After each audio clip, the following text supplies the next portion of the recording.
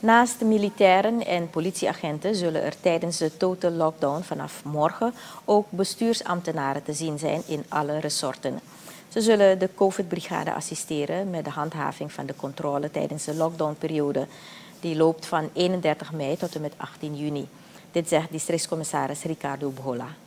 Natuurlijk, COVID-brigade kan niet overal zijn. Zij beschikken niet uh, over voldoende wagens en manschappen. Dus er is wederom een beroep op gedaan, zoals vaker gebeurt.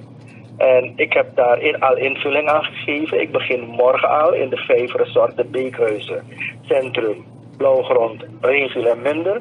Er komt meer bruin op straat. Meer bruin betekent meer controle. Maar nogmaals, we gaan vermanend optreden. We gaan de mensen voorlichten. We gaan waar nodig corrigeren. En als we zien dat er notoire, dat wil zeggen mensen in, die, in de herhaling gaan, dan zullen we niet schromen om samen met de COVID-brigade dan toch wel eh, wat fikse boetes uit te delen. Bola benadrukt dat de extra controle nodig is.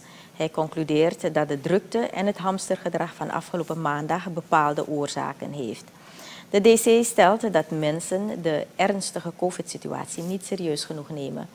Ondanks de ongehoorzaamheid van enkele burgers is er toch meer voorlichting nodig om mensen bewust te maken van de ernst van de situatie. Ik denk als je met die burgerij goed communiceert, uh, ze nogmaals uitlegt van er vallen nu echt rakenklappen. Mensen gaan dood. Elke dag ziet u de cijfers toenemen. Het is niet, nu niet een enkeling die doodgaat, er zijn meerdere per dag. Het is heel erg. Het zijn ook jongeren die nu doodgaan. We hebben gemerkt dat de leeftijdscategorie is 30 tot en met 40. Jonge mensen in de bloei van hun leven. Het zal je zoon of dochter zijn. Dus ik roep ook de ouders op. Praat met uw kinderen, ook al zijn ze al jong volwassen. Praat met ze. Noem ik de mangorei, laulo. Uh, laat ze een paar dagen thuis zijn. En dan komen we er wel overheen. Elke dood is er één te betreuren. Ik vind het jammer, we zijn niet zo veel in Suriname met elkaar. Het een kleine 600.000 zielen tellen we in zo'n groot uh, land als Suriname. Ja, we hebben een hartstikke mooi land, groot land, maar te weinig inwoners. En om het op te bouwen hebben we mensen nodig. Maar als mensen nu door mogelijk onvoorzichtigheid besmet raken, is jammer, is zonde.